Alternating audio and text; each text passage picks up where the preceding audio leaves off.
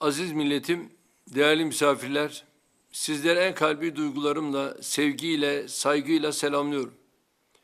Bugün Türkiye ve Türk milleti adına bir gurur anına daha şahit olmanın heyecanını yaşıyoruz.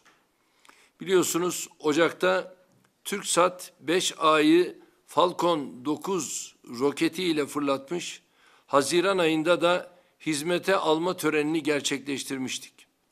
Bugün de ülkemizin en güçlü ve en yüksek kapasiteli haberleşme uydusu olan TürkSat 5B'yi uzaya fırlattık. Bu uydu projemizde de yine SpaceX firmasının Falcon 9 roketini tercih ettik. Sayın Musk'ı ve SpaceX firmasını Türkiye karşıtı lobilerin şantajına ve baskısına boyun eğmedikleri için şahsım, milletim adına tebrik ediyorum. TürkSat 5B uydumuz 42 derece doğu yörüngesinde hizmet veren ve televizyon yayıncılığının yükünü taşıyan TürkSat 3A ve TürkSat 4A uydularına yedeklik yapacaktır.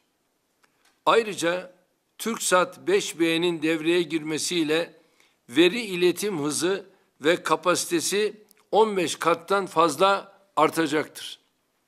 Bu sayede internet erişiminin kısıtlı olduğu bölgelere kara, deniz ve hava taşıtları da dahil olmak üzere kapsama alanındaki kullanıcılara geniş bant uydu internet hizmeti verilebilecektir.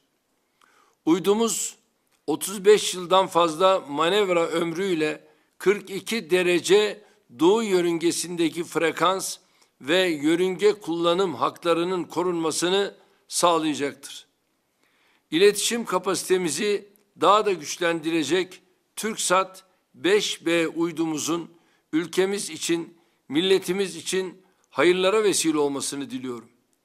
SpaceX firmasıyla uzay çalışmaları alanında yürüttüğümüz başarılı ortak çalışmalarımızın artarak devam etmesini temenni ediyorum.